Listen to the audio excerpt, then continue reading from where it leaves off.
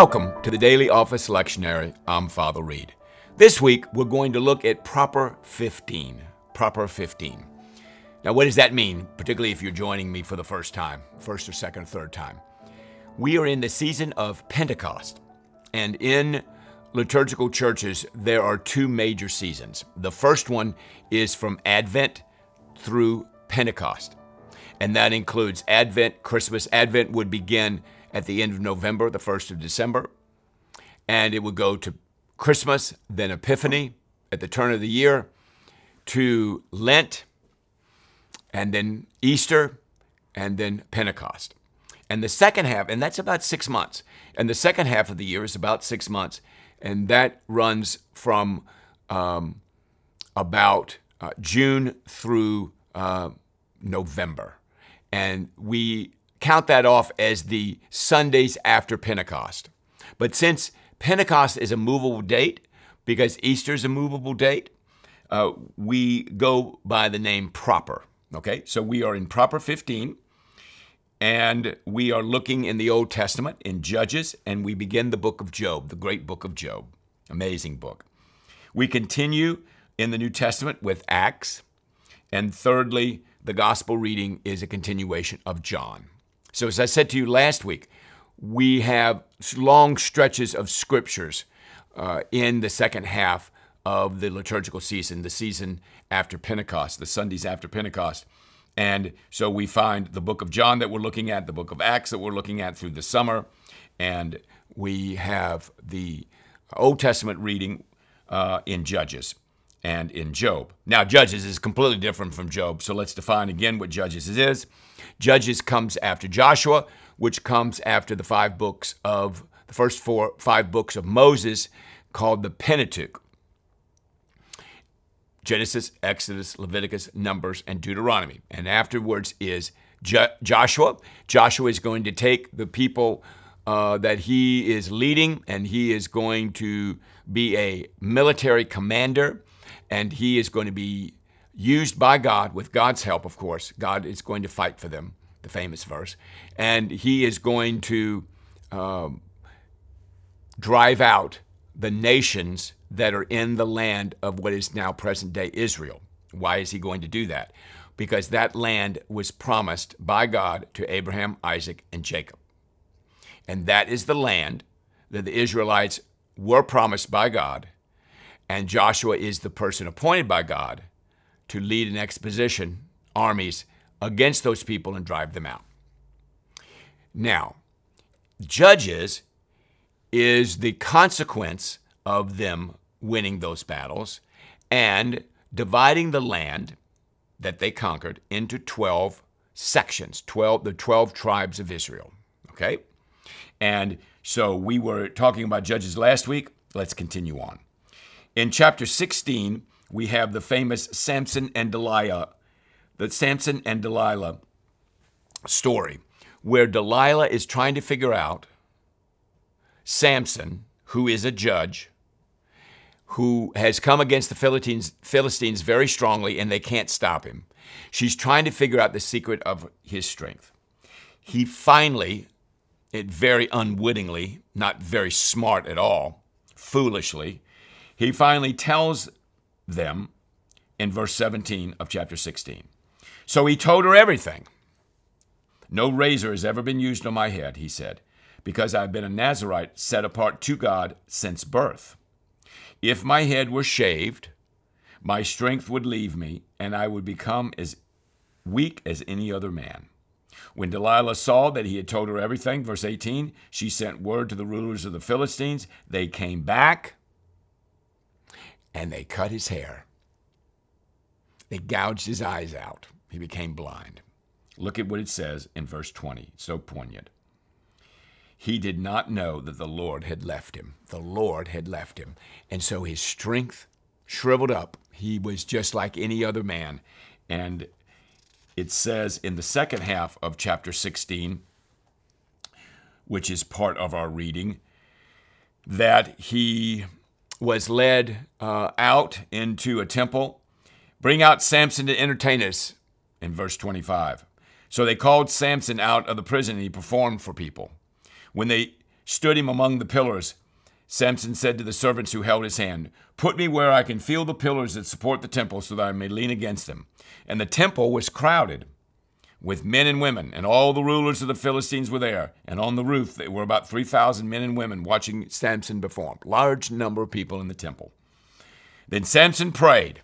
He prayed to God.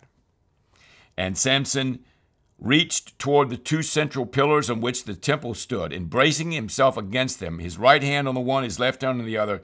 Let me die with the Philistines, he says. Then he pushed with all his might, and down came the temple on the rulers and all the people in it. Thus he had killed more when he died than while he lived. He led Israel for 20 years. A tragic story. And when the people got in trouble, Judges chapter 2, which we spoke about last week. When the people got in trouble, they called on the Lord, and the Lord heard their cry and raised up a person to save them. And Samson was one of those people. There's a wonderful story in chapter 17 and 18 Micaiah's idols, and the Danites settle in Laish. And please um, read that. I want to draw your attention to two things. Uh, 17:6 In those days Israel had no king everyone did as he saw fit no king no leader the people sinned against God when things got bad and things got out of place they called upon God they repented God raised up a judge they called him to save them a mighty leader man or woman Deborah was a woman, obviously, and did a lot of great work as a judge. But the people went back after the judge died and or after their leadership ended. Look at chapter 18, verse 1. In those days, Israel had no king. Now, if you were to read into Samuel, which we're not looking forward to doing, we're going to be looking at Job in a couple of minutes, a couple of seconds, actually. Um, they wanted a king. They wanted a king to rule them. What did God want? God wanted to rule the people himself. We call that a theocracy. People would have nothing to do with it. So enjoy reading uh, 17 and 18, two more stories uh, from the book of Judges. And um, uh, just, it, it was really a calamitous time where the people were just kind of doing their own thing and their worship of God wasn't very sincere and their love of God was not very sincere. Uh, God could have left let them over to the nations, but He didn't do it. If He had, they would have gone under. They wouldn't have survived it. Enjoy. Now, the book of Job is one of the more fascinating books of the Bible. We don't know when it was written. We don't know who wrote it. We don't know the time frame. There's so many different views on Job. It's a very, very difficult book in terms of its origin and its writing. But in terms of what it's about, it's not that difficult. It's actually very, very profound literature, very profound poetry, if you will, some text. And the whole idea revolves around a person named Job. And you'll see this in the first chapter. This man was blameless and upright. He feared God and he shunned evil. He was a very, very godly person.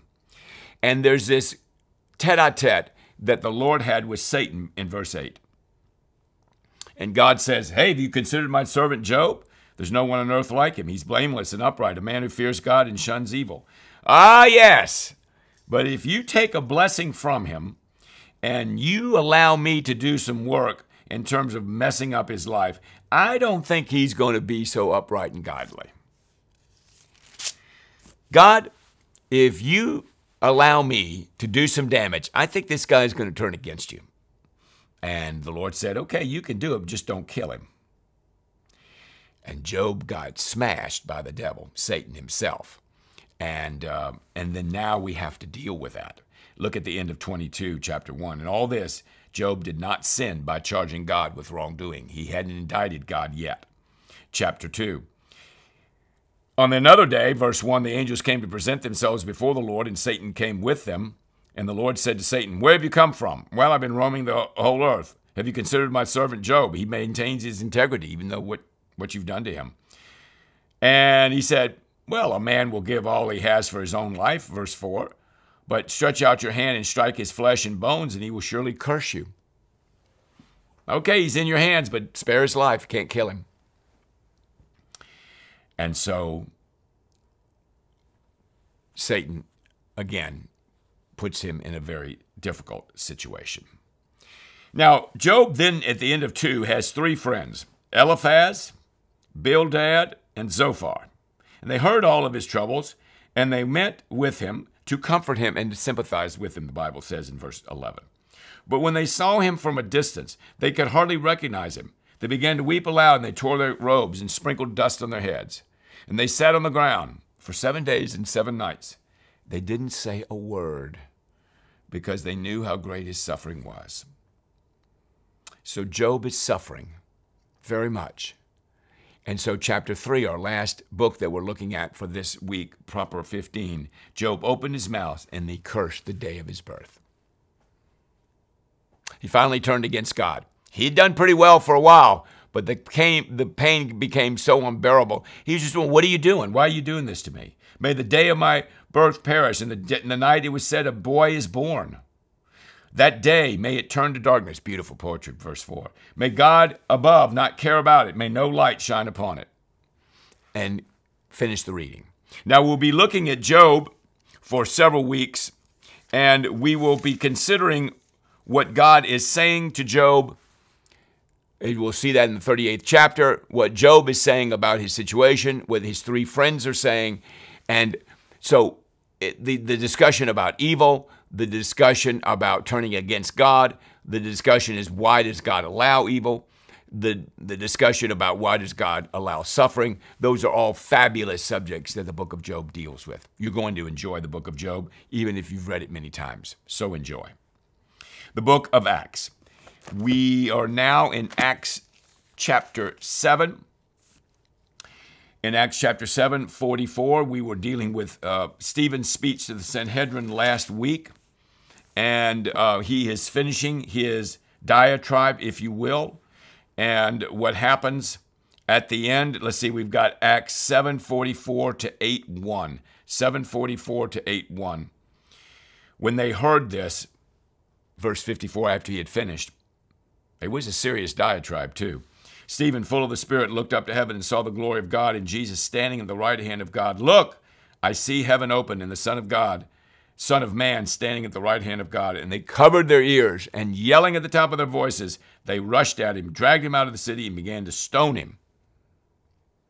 Meanwhile, the witnesses laid their clothes at the feet of a young man named Saul. So they killed Stephen. Remember, I told you last week that the seventh chapter is a recapitulation of Israel's history, so it's wonderful, quite wonderful. And Stephen, our first martyr, uh, uh, the death of Stephen, I believe that we celebrate uh, his martyrdom at the end of December.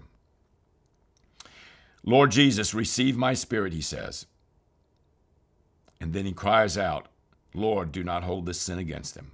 When he said this, he fell asleep. The great Stephen.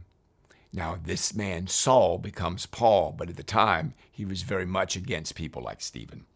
In chapter 8 of the book of Acts, the whole chapter, we have readings regarding the persecution of the church, Philip in Samaria, Simon the sorcerer, the one that wants all this great power. You're going to enjoy that reading beginning at verse 9. And Simon wanted the power that was given when the apostles laid hands on people and he offered them money. Have you ever heard the word simony? S I M O N Y. It has something to do with this text here in chapter 8.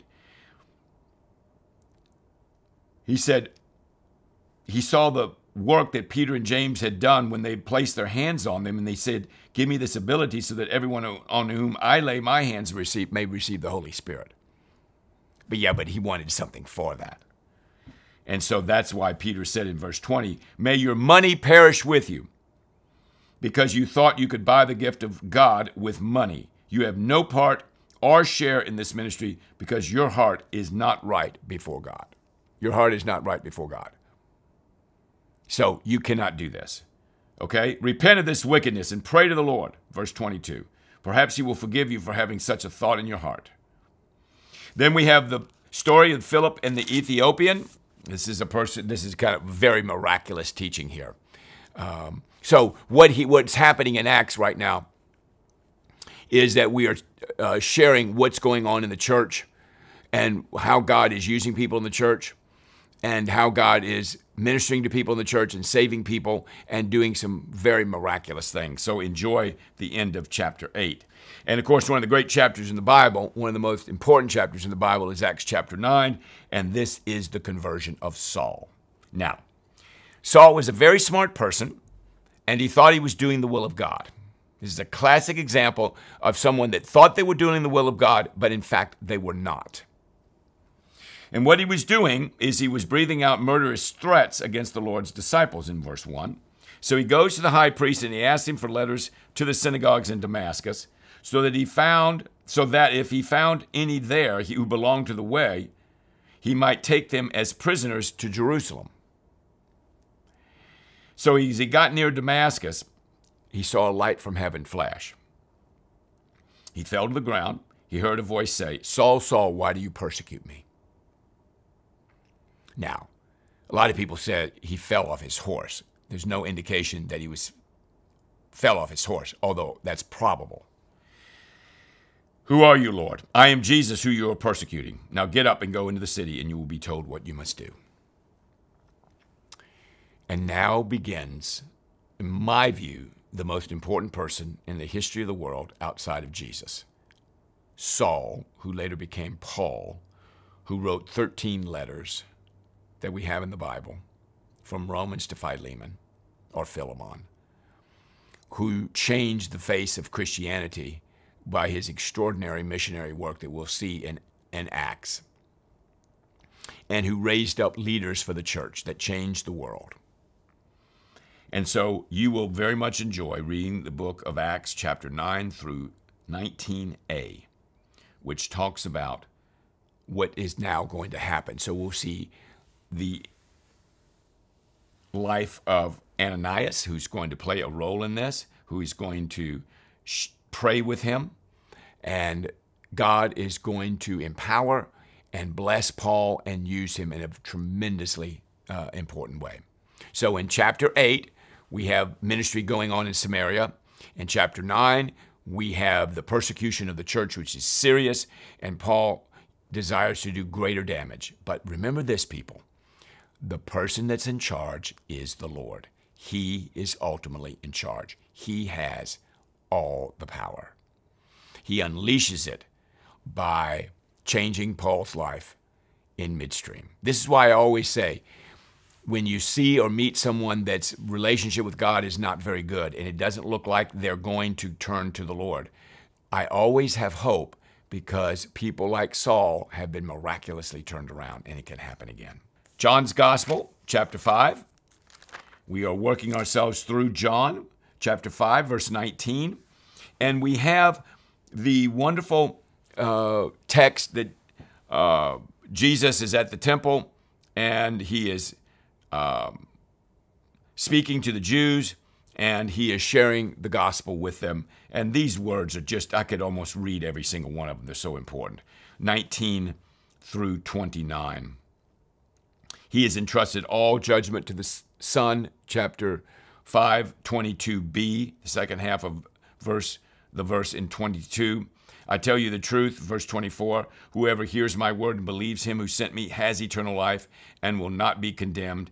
He has crossed over from death to life. And he has all the authority, all the judgment is there. And salvation is about being in Christ. I seek not to please myself, but him who sent me. Chapter 5, verse 30. He goes all the way in our reading to the end of uh, chapter 5. How can you believe, verse 44, if you accept praise from one another, yet make no effort to obtain the praise that comes from the Holy God?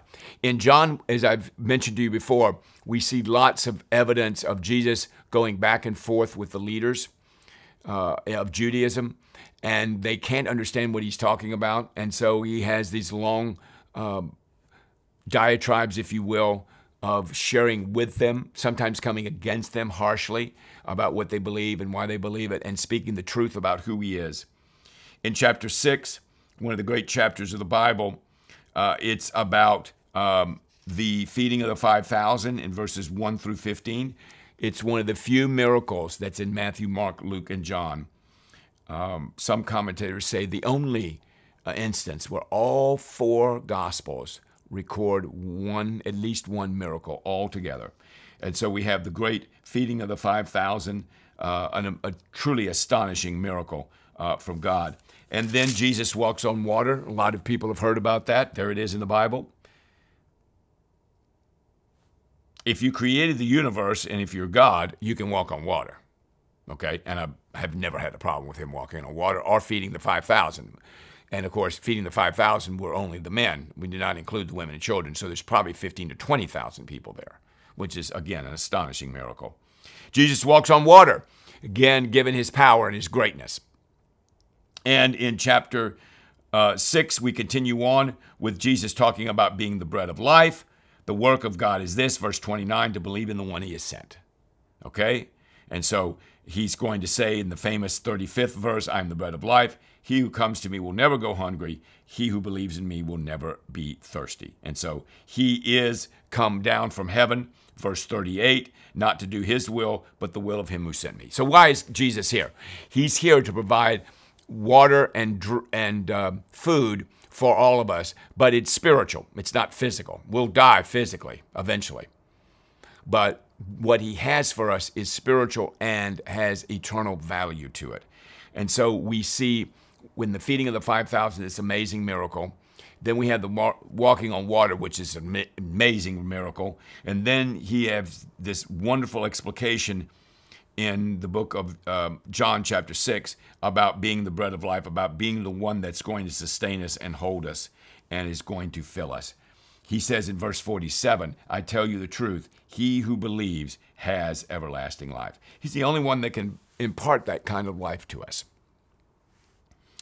So, you've got some beautiful readings from John, uh, which are just, just stunning. I love John so much. And from Acts, you have the major work that the Holy Spirit is doing in the church, beginning in the end of chapter 7 with Stephen's martyrdom. And then we have some a series of uh, miracles in chapter 8. Uh, and a person that's trying to use the gifts of the Spirit, uh, Simon, uh, that gets rebuked by Peter.